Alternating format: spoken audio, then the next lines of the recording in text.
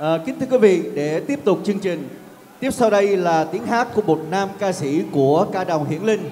Anh có một giọng cao rất là chuẩn, à, giọng ca rất là chuẩn và anh cũng là một trong những uh, trụ cột chính của ca đoàn Hiển Linh. Sau đây anh sẽ trình bày cho chúng ta nhạc phẩm Mùa xuân đến rồi sáng tác của nhạc sĩ Linh Mục Nguyễn Duy.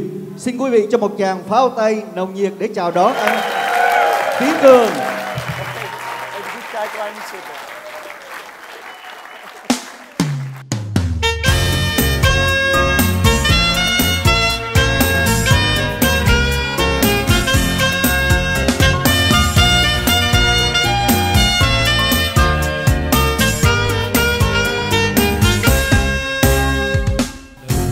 Đây mùa xuân đến rồi.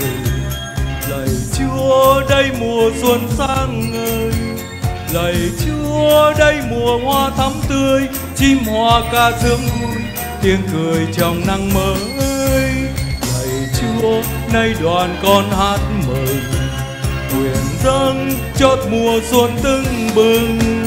Vì chúa chính mùa xuân thánh ân, chúa là xuân phúc âm tháng ngày còn ước mơ.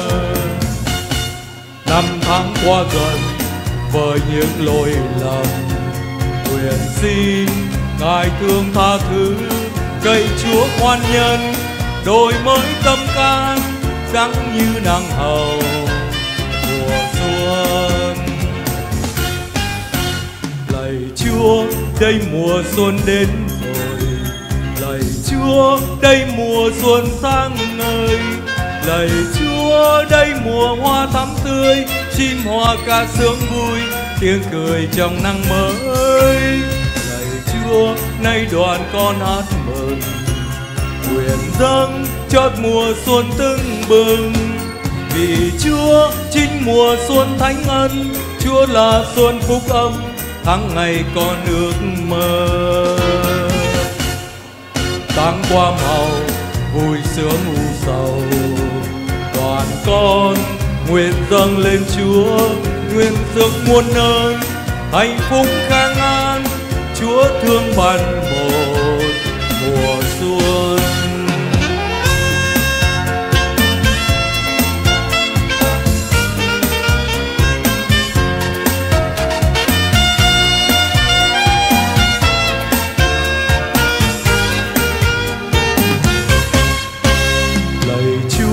đây mùa xuân đến rồi.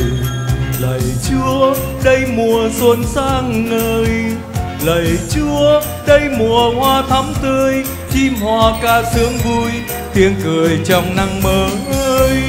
Lạy chúa, nay đoàn con hát mừng. Nguyện dâng chót mùa xuân tưng bừng. Vì chúa chính mùa xuân thánh ân, chúa là xuân phúc âm tháng ngày còn ước mơ. Bao ước mơ này xin tiến dâng lại. Tuổi xuân hòa theo gió mới, nguyện ước quê hương hạnh phúc vinh quang. Tháng năm tràn hòa, tình thương xin tiến dâng lại. Giây phút vui này hợp nhau ca danh Chúa, nguyện ước tân xuân, thờ Chúa trung kiên khắp trên dân tộc Việt Nam, khắp trên dân tộc Việt Nam.